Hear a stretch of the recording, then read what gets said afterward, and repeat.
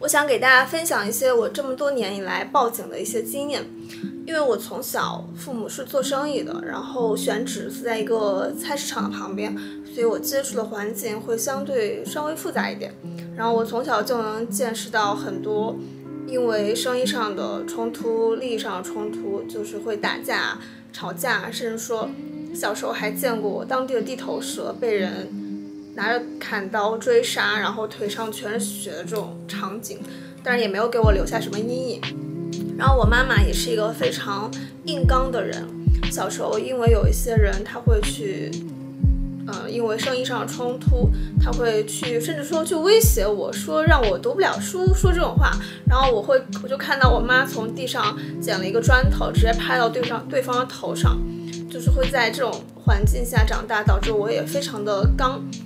然后在我生活了这么多年的时间里面，我报过无数次的警。在大学的时候，我的室友因为偷我们室友的钱，然后所有人都劝我不要追究的情况下，我去收集了很多证据，然后最后报了警。本来是可以给他判刑的，但是在学校的劝，就是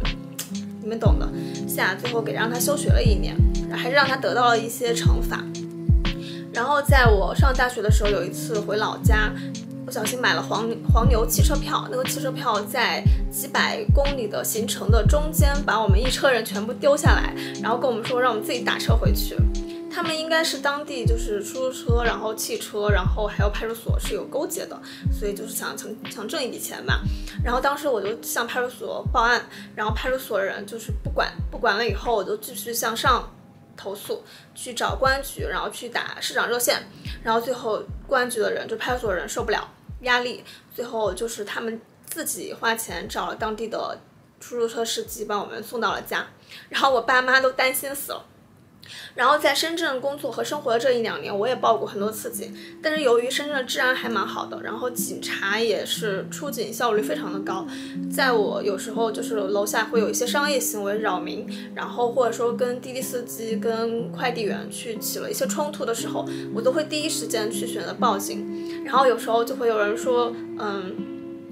你不要去经常跟人起冲突，他们会报复你，或者说不要去占用公共资源。我知道这些就是都是为我好，但是其实我在我的价值观下，我觉得他们之所以能够这样，就是很肆无忌惮的去做一些恶，就是因为他们之前做过，没有人追究他们的责任，大家都是忍让了。但是你你让他，他根本就不会感恩的，他只会把这些恶去放大的去在。送给别人，所以在我遇到一些侵犯我个人权益的事情的时候，我都会跟他刚到底。但是我现在就觉得我要反思一下，这个刚肯定是要刚的，但是可能要有勇有谋一点，就是他要让我在一个安全的环境下，然后我让对方去得到尽大可能的一个惩罚，是最好的结果。所以如果说问我在遇到类似打人的事件的时候，我要怎么处理，我仔细思考过这个问题。因为我是一个比较崇尚穿衣自由的人，可能在别人眼中就是穿的会比较少，但是我也会经常出门去，就是晚上出门去吃饭，然后这个时候我会去，首先会去观察周围的环境。如果说有一些呃喝了酒的，或者说一些看着就不太正常，有点像混混的人，然后我就会远离那一桌，或者直接换店。首先把自己处在一个比较安全的环境下。第二就是，当你感觉到有一点点危险的预警的时候，一定要毫不犹豫的去选择报警。其实警察就是处理这些事情的，你也不知道危险什么时候会发生，但是你早一点报警，这个危险就有可能会避免，它的概率就会小一点。第三就是，当危险已经发生了怎么办？首先，我们还是不能跟人去正面的起冲突。我现在会觉得，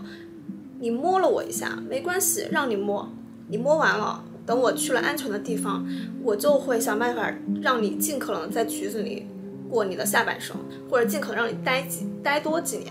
你摸我一下，我让你去局子里待几年，到底谁亏了？我觉得我也没有亏太多，至少在当下的这个治安环境下，我们根本就无法去要求其他人。嗯，去遵守法律，去遵守道德，也无法去改变其他人的行为，那怎么办呢？那我觉得只能在危险来临之前去